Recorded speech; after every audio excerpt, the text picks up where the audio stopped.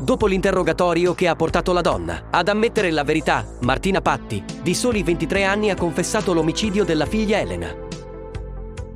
La piccola, che a breve avrebbe festeggiato i suoi 5 anni, è stata uccisa nei pressi di Mascalucia e, successivamente, seppellita vicino alla propria casa. Fin dal primo momento sono state evidenziate le contraddizioni nel racconto della madre. Sono state proprio queste affermazioni a far capitolare la donna.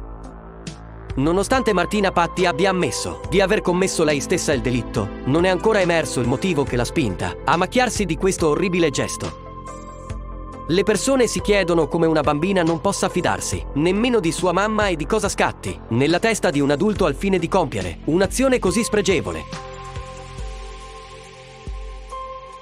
Purtroppo l'uccisione di Elena è solo l'ultima, sulla lunga lista che da anni ha portato diversi genitori a porre fine alla vita dei loro figli Secondo gli ultimi rapporti, tra il 2000 e il 2014, sarebbero stati quasi 400 i bambini uccisi da coloro che, in realtà, avrebbero dovuto amarli e proteggerli da ogni minaccia.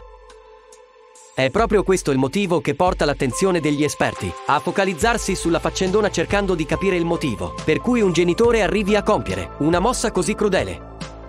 Per quanto riguarda Martina Patti, il terribile gesto deriverebbe da un attacco di gelosia che la stessa avrebbe provato nei confronti della nuova compagna dell'ex fidanzato.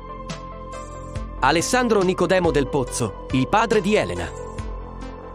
A quanto pare, la donna stava costruendo un rapporto con la piccola, con la quale andava veramente d'accordo.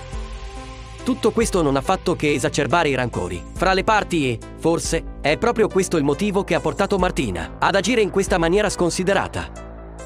La gelosia avrebbe quindi spinto la giovane donna ad eliminare il fattore che avrebbe potuto rendere Alessandro fiero della sua famiglia. La Patti ha dovuto confessare come l'azione da lei commessa si sia verificata in maniera del tutto incontrollata, quasi come non fosse consapevole di ciò che stava accadendo. La donna ha quindi confessato il delitto e ha rivelato alle forze dell'ordine la posizione del corpo della piccola, uccisa a colpi di coltello. Martina Patti ha prelevato la figlia dall'asilo, l'ha portata a casa, l'ha fatta giocare e mangiare e poi l'ha pugnalata, al collo e alla schiena. Infine ha riposto il corpo senza vita in alcuni sacchi neri e lo ha sotterrato nella buca che aveva scavato, prima di andare a prenderla a scuola. A tal proposito sono intervenuti alcuni psichiatri che hanno cercato di capire come una madre possa arrivare a compiere un gesto simile.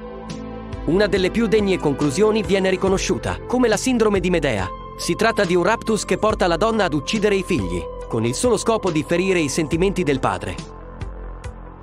Alcuni esperti hanno espresso tale parere, ma pare ovvio che debbano essere condotte ulteriori analisi al fine di evidenziare tratti borderline nella personalità di Martina, il nome di questa patologia è correlata ad una vicenda epica, dove una donna, per l'appunto Medea, viene abbandonata dal marito poiché questo decide di scappare con un'altra ragazza.